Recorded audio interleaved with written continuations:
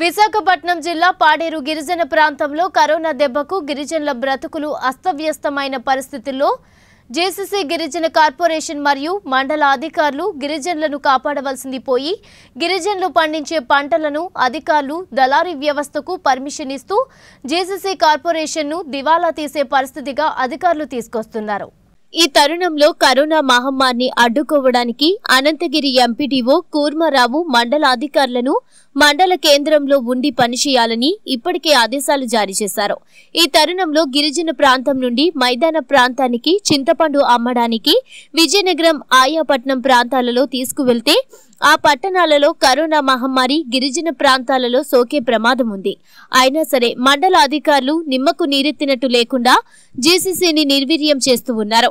ఇప్పటికైనా అధికారులు మేల్కొని ఈ దళారీ వ్యవస్థను ఆపి గిరిజన ప్రాంతంలో పండించే పంటలను జీసీసీ గిరిజన కార్పొరేషన్ ద్వారా గాని లేక కోల్డ్ స్టోరేజ్ను గాని ఏర్పాటు చేయాలని గిరిజనులు వేడుకుంటున్నారు. ఇది ఎక్కడి నుంచి పట్టుకొస్తున్నారు? దమ్కు నుంచి ఎన్ని కేజీలు? ఎన్ని బస్తాలు చింతపండు? వస్తారు సరే సరే. ఏమన్నా రోజుకో ట్రిప్ నలభై బస్తాలు పర్మనెంట్ అది. ఇప్పుడు ఎన్ని లోడ్ వేసారు నలభై. ఇప్పుడు ఎక్కడికి పట్టుకెళ్తున్నారు? విజయనగరం. ఇప్పుడు ఈ రోజు ఎన్ని ట్రిప్పులు వేసారు ఇది ఒకటేనన్న ఫస్ట్. ఉదయం వెళ్ళే స్టార్టింగ్.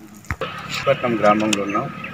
ఇక్కడ గిరిజన ప్రాంతంలో పూర్తిగా ఐటీడీఏ కానుకుని జీసీసీ అనే ఒక సొసైటీ ఉంది. ఈ సొసైటీలో గిరిజన ప్రాంతంలో పండించేటటువంటి పంటలన్నీ కూడా ఇక్కడ జీసీసీకి అమ్మడానికి అని చెప్పి గిరిజన సొసైటీ ఉంది. అలా కాకుండా పూర్తిగా దళారీ వ్యవస్థను అమ్మడానికి ఇక్కడ ఎంఆర్ఓ గారు పూర్తిగా పర్మిషన్ ఇచ్చి ఈ కరోనా వ్యాధి ప్రబలే విధంగా ఎంఆర్ఓ గారు చర్యలు తీసుకున్న పరిస్థితులు అయితే ఉన్నాయి. ఇప్పుడు వాళ్ళకి ఇచ్చినటువంటి కాగితాలు పూర్వకంగానే ఒకసారి చూద్దాం ఆ కాగితాలు ఒకసారి తీబాబు ఒకసారి. వాళ్ళకి ఇచ్చినటువంటి పర్మిషన్ కాగితాలు ఈ విధంగా ఉన్నాయి.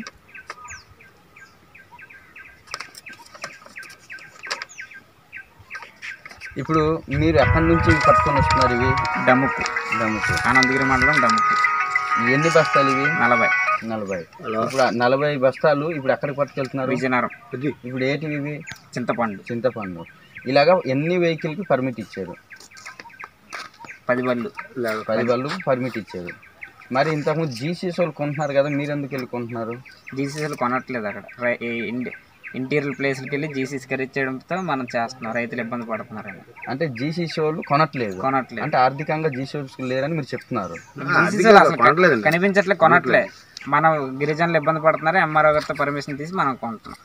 అయితే ఇక్కడ సాహుకారులతో మనం మాట్లాడే కార్యక్రమం అయితే ఇలా జరుగుతుంది. ఇక్కడ పూర్తిగా జీసీసీ అనే ఒక గిరిజన కార్పొరేషన్ అనేది పూర్తిగా ఇక్కడ ఉంది. ఏదైనా కానీ అక్కడే కొనాలి. గిరిజన ప్రాంతంలో అభివృద్ధి జరగాలనుకుంటే గిరిజన ప్రాంతంలో జరిగేటటువంటి అభివృద్ధి ఏ ఏ కార్యక్రమాలు అయితే కానీ ఒక చింతపండు కానీ మామిడి పళ్ళు కానీ ఏదైనా కానీ గిరిజన ప్రాంతంలో ఉత్పత్తి అయ్యేవన్నీ కూడా జీసీసీ అనే సొసైటీకి అమ్మి తన ద్వారాగా గిరిజన ప్రజలకు మేలు చేకూర్చే విధంగా ఆర్థిక వనరులకు చేకూర్చే విధంగా ప్రభుత్వం ప్రయత్నం ప్రయత్నించవలసి ఉంటుంది. కానీ ఇక్కడ దానికి భిన్నంగా జీసీసీ వాళ్ళు కొనట్లేదు. కనుక మేము కొంటున్నాము. జీసీసీ వాళ్ళు ఎక్కడ కూడా రావట్లేదు కనుక రైతులు ఇబ్బంది పడుతున్నారని చెప్పి చెప్పే పరిస్థితి ఇక్కడ కనిపిస్తుంది. దీంతో గిరిజనులకు పూర్తిగా అన్యాయం జరుగుతుంది. దీంతో ఇక్కడ దళారీ వ్యవస్థ జీసీసీ అనే ఒక వ్యవస్థ పూర్తిగా ఒక కుమ్మక్క అయిపోయి పూర్తిగా కుమ్మక్క అయిపోయి గిరిజనులను ఇబ్బంది పెట్టే కార్యక్రమం చేస్తున్న పరిస్థితి మనకు క్లియర్గా మనకు అర్థమవుతుంది.